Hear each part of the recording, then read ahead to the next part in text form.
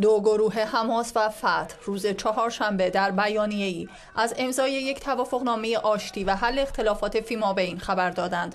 بر اساس این توافقنامه قرار است این دو گروه فلسطینی به زودی با تشکیل دولت انتقالی مقدمات انتخابات ریاست جمهوری و پارلمان را فراهم کنند.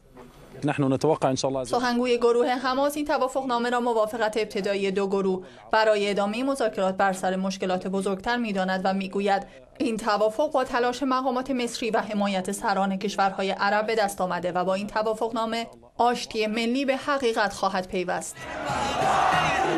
امضای این توافقنامه با واکنش رهبران اسرائیل مواجه شده است. نخست وزیر این کشور پس از امضای این توافقنامه گفت تشکیلات خودگردان فلسطین باید میان صلح با اسرائیل و صلح با گروه حماس یکی را انتخاب کند. توافق همزمان با حماس و دولت اسرائیل امکان ندارد چرا که گروه حماس در پی نابودی دولت و کشور اسرائیل است.